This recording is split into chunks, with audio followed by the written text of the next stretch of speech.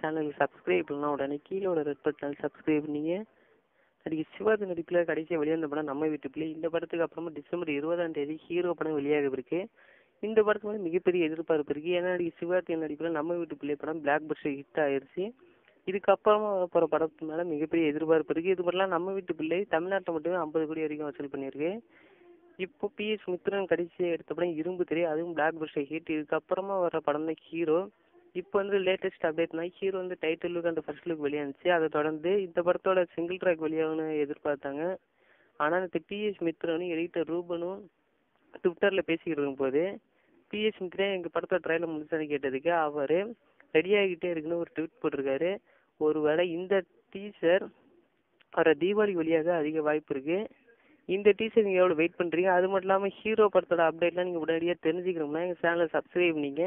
அப்போ தான் நாங்கள் போகிற அனைத்து வீடியோ உங்களுக்கு உடனடியாக வந்துக்கிட்டே இருக்கும். கூடவே பார்த்து ஒரு பெல் பட்டன் அழுத்திங்க